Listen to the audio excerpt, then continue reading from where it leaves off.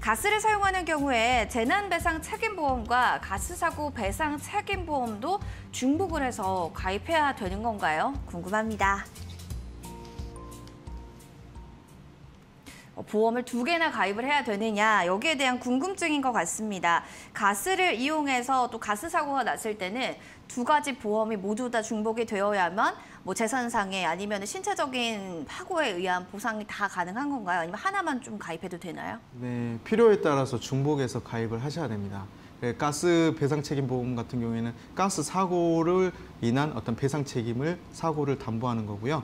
그리고 재난 배상 책임 보험 같은 경우에는 아까 말씀드린 화재, 폭발, 붕괴로 발생한 사고를 보상합니다. 그래서 필요에 가입 대상일 경우에는 필요에 따라서 가스 배상 책임 보험 그리고 재난 배상 책임 보험을 둘 다 가입을 하실 필요도 있습니다.